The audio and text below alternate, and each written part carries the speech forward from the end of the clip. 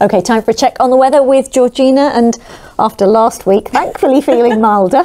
Yeah, believe it or not, though, January was actually drier than average. Um, we had about almost half as much rain as we'd normally have.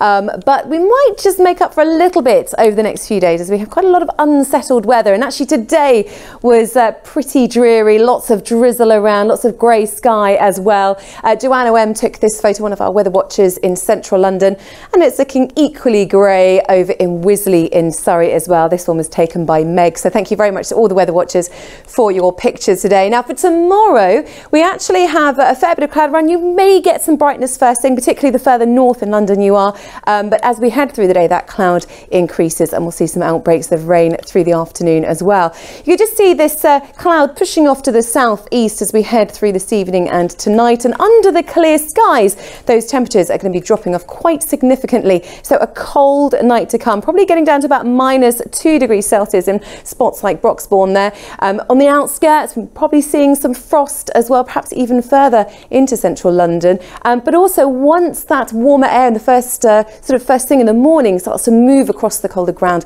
we may see some patchy fog developing too. So first thing tomorrow, you could have brightness, but actually this cloud is fairly fast to move in. And then as we head into the afternoon, we'll see some outbreaks of rain as well.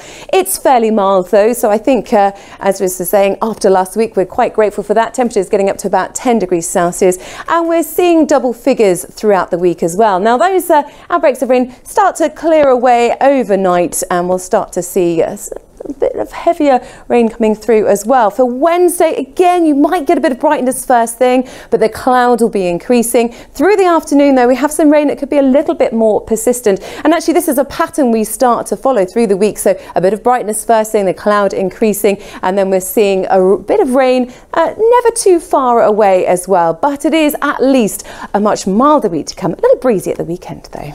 Okay, Georgina, thank you.